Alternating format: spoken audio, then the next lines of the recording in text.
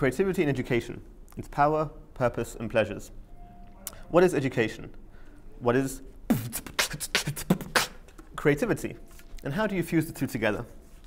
Can we as educators fuse the two, and why should we do so? Going back to what is education, academic uh, Roland S. Barth holds two models of education in practice.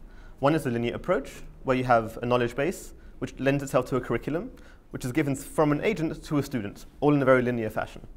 The second model is an experiential model, where you have the student engaging with the, social, with the general world around him, and the teacher facilitates this interaction between the student and the real world to um, bring forth the knowledge base which they hope to acquire, which is there out in the ether. What is creativity? As demonstrated, creativity could be vocal percussion, but whilst this particular talent may be unusual, each of us in ourselves excels in one particular type of creative action. This could be um, dance, sport, drama, music, comedy, anything of, the, of these things and beyond. But the key is that we need to bring this creativity, this creative element, into the classroom. Question of how do we fuse them? We fuse them, I would fuse them along these lines. You take vocal percussion, and you want to teach for, about Hanukkah. So you take Al Hanissim, you take beatbox, and you get this.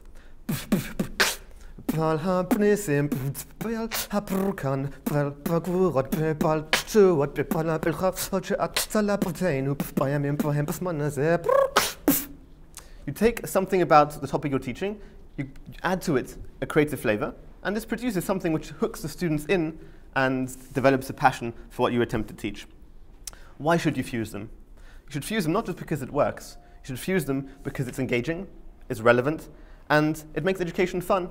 In today's day and age where fun is a key factor in life, um, education and creativity together will fuse the two worlds, which would enhance students' experience. What are the challenges that may, we may meet with education? This could come from students themselves, this could come from teachers, from um, old school teachers, traditionalists, from institutions, from parents, from different sources.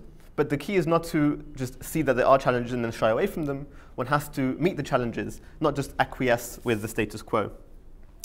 An example of creative education inside a classroom could be getting students to write a biblical narrative, but in rap form. It could be to perform a skit of a biblical narrative or whatever it is that you're attempting to teach. In Jewish tradition, we use many rhythms in, through our religious observance, our religious life. We have a laining trop, we have a cantorial trop, and using vocal percussion in this, in this case is, no, is not dissimilar to using any former previous uh, rhythmic-based structure and applying it to current situations. Beatbox is largely improvisational.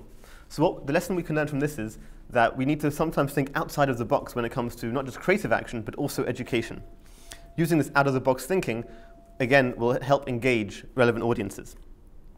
We must also know our audience. Not every creative act is suitable for every audience that we come across. Some may prefer sport, some drama, some music. Al pi we have to go according to, as, as much as we can, the uh, audience we have to work with. An interesting point is we should not be afraid to ask outside for help. We should look not just within ourselves, but from outside ourselves. For example, in our case, Israel is clearly one of the most creative and innovative nations around today. In 65 years plus, very much has happened. No other nation has really achieved that much in such little time. So we should see what we can learn from such creative and such creative expression and implement it ourselves. Renowned um, educational philosopher Ken Robinson, he says as follows. He says, regarding the American education system, we have sold ourselves into a fast food model of education, and it's impoverishing both our spirit and our energies as much as fast food is de depleting our physical bodies. So we have to turn away from what is just box checking and box ticking in amongst our educational system, and we have to think a little bit more outside the box. And uniformity is not the way to go when it comes to education. Now, creativ creativity versus routine does not say routine is bad. It doesn't say that routine needs to stop. Routine is necessary and required to give structure. Creativity is necessary and required to bring within that structure a different and unique framework to teach our students. So there's room to grow in Jewish day schools today, both in New York, in America, and around the world. And it's the fear of the unknown that sometimes inhibits education and it inhibits the halt to education. However, from Jewish tradition, we know that Chazal extol creativity. How do we know this?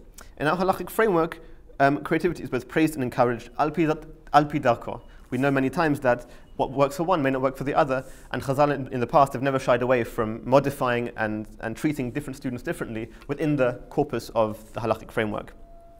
So we can both conform to our faith and still maintain individual expression. As Robinson said, we may not see the future. We may not get to see with the fruits of our labor that we implement today, but we still need to act. In the same way, this is something that, that we need to incorporate into our own lives. Moshe Rabbeinu, that we know, he led the nation of Israel up until the border of Eretz Israel, right till the bitter end. However, he himself was not allowed into the land.